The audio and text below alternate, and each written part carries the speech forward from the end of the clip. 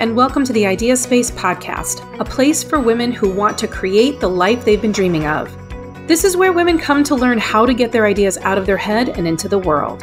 Whether you've wanted to create a better relationship, job, business, hobby, or a better self, I bet there's something more that you want. And it's time you were able to get it without feeling overwhelmed, alone, or confused. I'm your host, Jen Liddy, a high school teacher turned entrepreneur. It's my mission to help women bring their ideas to life and get what they want without feeling guilty, selfish, or confused. If you're tired of your dream living inside your brain and are ready to have what you want, you're in the right place. And I promise you can have it and you can stay sane while doing it. Let's go. Hi, welcome to the Idea Space podcast. My name's Jen Liddy, and this week it's the first week of February. And if you live in the Northeast, you're probably cold. Here, where I live in Syracuse, New York, February is a dark month, and preparations for New Year's Eve feel like a year ago already, and the shininess of our resolutions has pretty much worn off. In February, especially in Syracuse, where I live, people are sick of the weather and they're also sick of themselves. That's why it's usually the busiest month in my practice. I meet lots of people ready to make changes in their lives, and so they connect with me to see if I'm a good fit to help them get where they want to go. For me personally, February is a tough month. I work hard to manage my mindset to stay in a high energy and a high vibration. It takes a lot of work because it's so much easier for me to isolate myself, stay in my robe by the fire, and watch basically all 10 seasons of Friends in three days. I know from experience that too much of this is really bad for me. Behavior like that causes a real lack of connection. And I mean connection to myself, to others, and to my purpose. And when I lack connection, I'm at my lowest, saddest, and most empty. And the reason I'm talking about this this month is that it's not just me. I know from talking to many other people that this is a hard month for people. It's a month where people really want to stay isolated. And when I'm isolated from my husband, my son, my best friend, or even my colleagues, I get in a heavy, low, and unproductive space. So I want to talk about this idea of a lack of connection this month so that I can help you maybe move through February with a little more ease and a little more purpose. And I'll share some tools throughout the month to do so. Now, I've realized that it's loneliness. That's the word for it. And what loneliness does to me is it causes me to buffer. And that means waste time, overeat, underperform, and generally feel listless. Remember that buffering is just like a squashing down of a feeling you don't want to experience, like you're trying to avoid something. And so that's why all month I'm going to talk about this idea of isolation versus connection, because isolation and buffering keeps us from our goals, and we need to be aware of how it affects us. So I'm not talking here about being an extrovert when you're a true introvert and and that you need to connect with people and you need to go out in the world and be a big introvert, a big extrovert if you're an introvert. That's not what I'm talking about. I'm talking about being true to connecting to people and yourself in a way that's meaningful, purposeful, and useful to you. When we're isolated and lonely, we waste time we berate ourselves and we yearn for something different, but we often don't know what that is or even how to get it. And in my most isolated moments, I am the queen of wasting time. So here's a great example.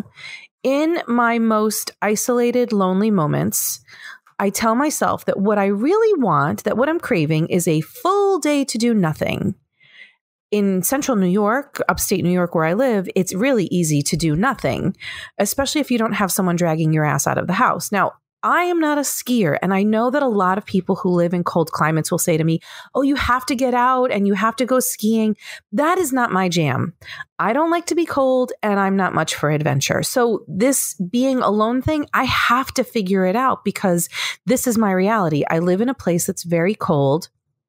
And being alone for an entire day is ironically the opposite of what I need, even though my brain is telling me, no, no, no, just stay by the robe, stay by the fire.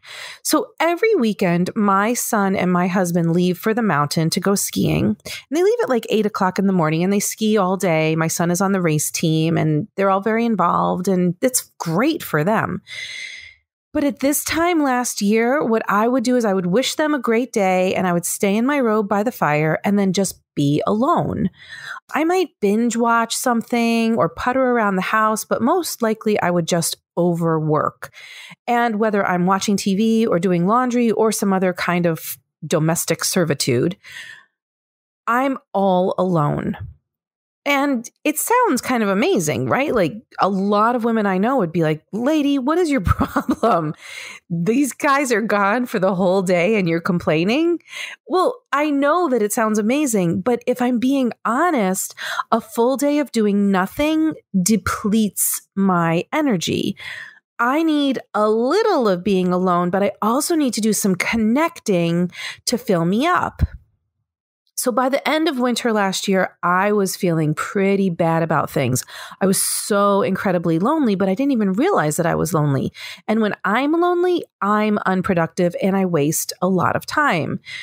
I spend a lot of time on social media or I overeat or overshop. Those are the ways I hide from my loneliness. What about you? What do you do when you're feeling lonely?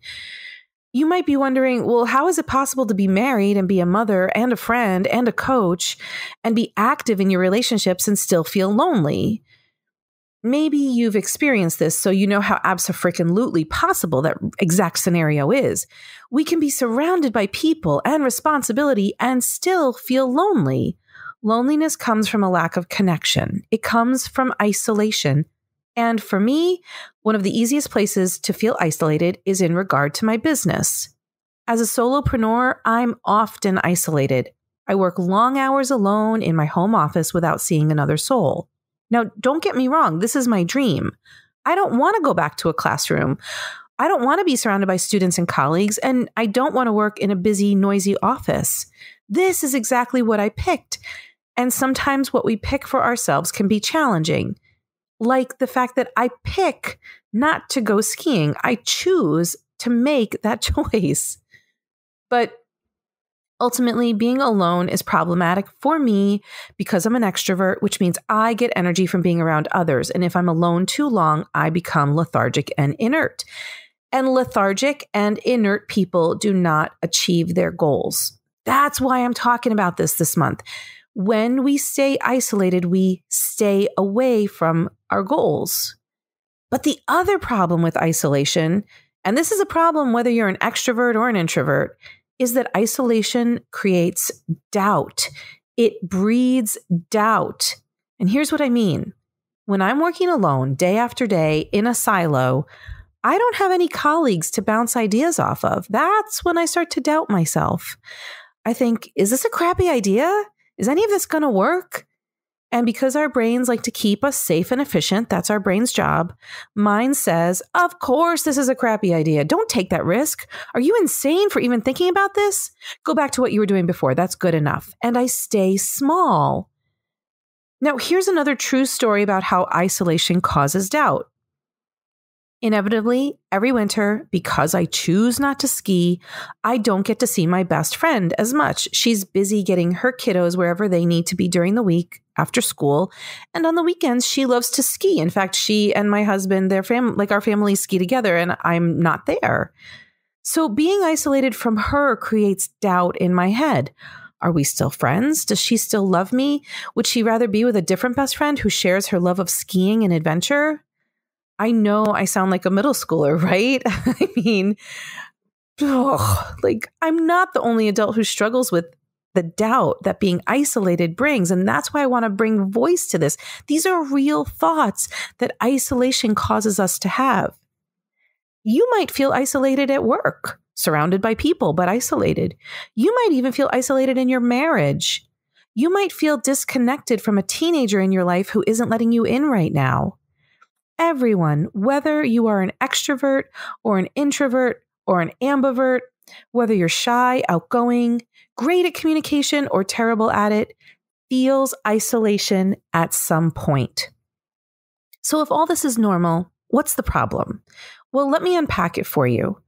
Isolation causes doubt, and doubt is a killer of self esteem, obviously.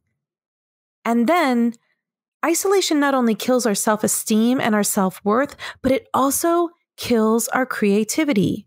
Have you ever worked on a project or something, whatever it is, alone for a really long time? And maybe you feel like in the flow about it. You love working alone on it. You're chugging along. And then it's time to know if it will fly in the real world. Can I sell it? Do people want it? I mean, I can only work alone for so long before I need to say it out loud to another human being. I need to share it and get some feedback so I can make it better and see if it's really worthwhile. Because without feedback, I'm not as creative as I need to be. I can't see possibilities or consider others' examples. I can only take myself so far in the silo. When we don't believe in ourselves or we feel stuck in our creativity, we stay stuck. And inert people do not achieve their goals. And you have goals. You're trying to make the world a better place. But first, you have to make your world a better place. If you're ready to achieve your goals, be careful this month to notice your thoughts, your feelings, and actions around this idea of isolation. Are you asking for help? Are you getting the support you need? Are you connecting with the others who can help move you into a higher vibration with thoughts that serve you?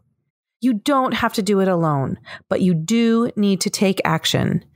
Don't tell yourself the story that there's no one out there to help you because that's bullshit. There are real people all around you. Look up and ask yourself, who can I connect with? It might be uncomfortable, but look at this. You're already in discomfort. You're already living in the isolation, and that's the worst case scenario. Take a step today to connect. Maybe it's with a Facebook group of like minded people. Maybe it's with other humans in real life in your community or your family. Or maybe it's even reaching out to me to just say hello. I've been there. I understand what this feels like. Don't let your goals sit inert this month because loneliness and isolation are winning. Take back control. And this month, tune in each week to this podcast as I share more and more tools to help move you into action. I hope this was helpful and I look forward to seeing you next week. Bye. Thanks for joining me today. If you like what you heard, please subscribe to the Idea Space in your podcast app. Or tell that friend of yours who'd really love to bring her idea to life about it. If you'd be so kind to leave a review, then together we can help more women with the desire to create the life she wants find this podcast.